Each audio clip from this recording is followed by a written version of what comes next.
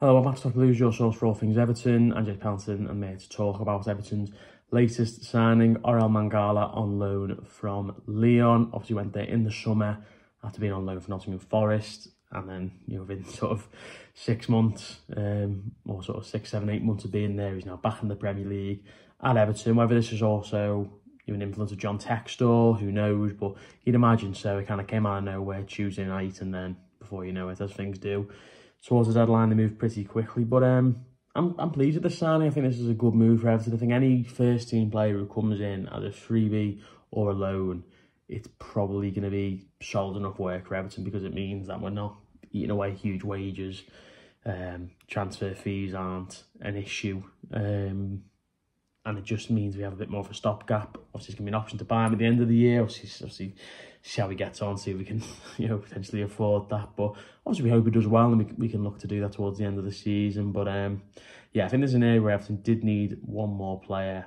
Know, last season we had the, the three lads we've got now um, in Doucouré, Garner, and Gueye, and then we lost Onana, and we've lost um, Andre Gomes.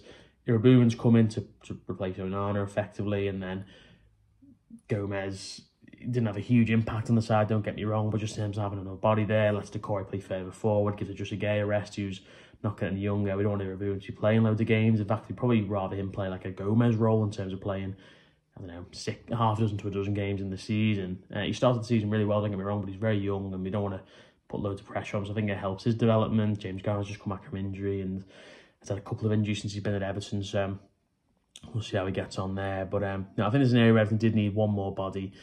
Other areas of the pitch, yeah, probably more pressing, probably another forward player, probably another fullback, more than we needed a centre mid. But I think we did need someone in there. And, and Mangala's got decent pedigree, as I say. He was at Forest last season. And um, when he left in January, it felt like felt very strange. And a lot of Forest fans thought that was going to be a big impact on them staying up, actually. Obviously, they managed it in the end like we did. But um, they were certainly concerned when he when he left the club, he had a good start to the season. Um, and I think it's always nice when you sign players who've proved they can do it in the Premier League. He's a good shielder in front of the back four, slightly different to Idrissa Gueye in the sense that I think he's probably a bit more of an anchor than Gueye, who might go up and press higher up. Obviously, he scored a few goals last season, bizarrely, but um, I think in terms of his his numbers, in terms of aerial duels, winning the ball, back ball recoveries, they're all really strong. He's confident on the ball. He can run with the ball. Pressure passes aren't too bad either. So I think this is a player who's fitting a Dyche system quite well. He's got the Premier League experience. He's not costing an arm and a leg to sign, and he just gives us a bit more insurance in that area because you know, we're one injury away from playing sort of you know, Gueye or Iroegbunam and Doucouré in midfield. I think anyone wants to see that. We want Doucouré further up. We don't want to be in a scenario where we're having to play, you know, someone like a Mason Holgate in centre mid, which um, obviously we had to do a few years ago and we had loads of injuries. So I think packing out that midfield area is good for Everton. I'm sure he'll play a decent role this season. So let me know your thoughts down below on this signing. Do you think our transfer window so far? Players you've signed, players you've let go, that sort of thing. So let me know down below and we'll see you next time.